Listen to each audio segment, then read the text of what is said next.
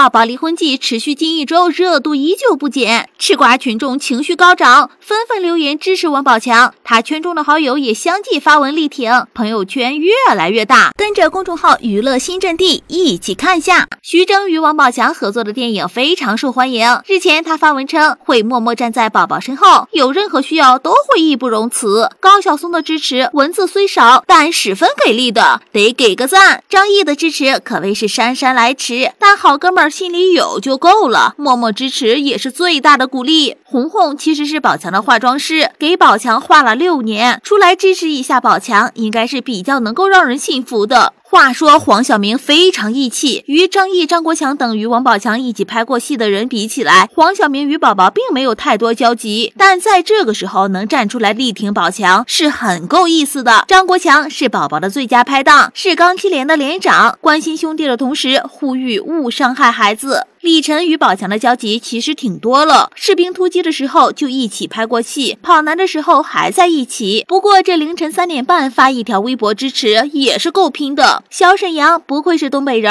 反应速度还是很快的。没用等到十六号就发出声音出来力挺了。编剧六六很相信宝强人品，不是敷衍，光明正大力挺。陈思诚借钱给宝宝打官司，这份情谊足见够深。还有陈芷溪是最早公开支持宝。宝强的，得给一个大大的赞！所以，宝宝，你不是一个人在战斗，这些好朋友都是你的坚强后盾。